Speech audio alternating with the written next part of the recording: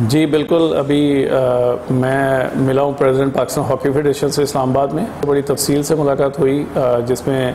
chief executive officer Asian hockey federation Tayyab Ikram भी शामिल थे और हमने एक कंप्लीट जो है वो प्लान किया है पाकिस्तान हॉकी के लिए इंटरनेशनल हॉकी को रिवाइवल के लिए पाकिस्तान में। और उसके अलावा हमारी जो भरपूर तरीके से एनसीओसी ने जो इजाज़त दे दिया हॉकी की तो हमारा डोमेस्टिक सीज़न जो है वो भरपूर तरीके से शुरू होने जा रहा है। और इस सिलसिले में हम कोशिश ये कर रहे हैं कि एक हॉकी फाइव की लीग कराई जाए जुलाई के महीने में और उसके बाद फौरी तौर पर chief of naval staff cup हो रहा है कराची में जो 8 अगस्त को जिसका फाइनल होगा और उसके बाद माड़ी पेट्रोलियम जो है आज़ादी कप के नाम से माड़ी पेट्रोलियम आज़ादी कप होने जा रहा है, जो 8 से 14 अगस्त तक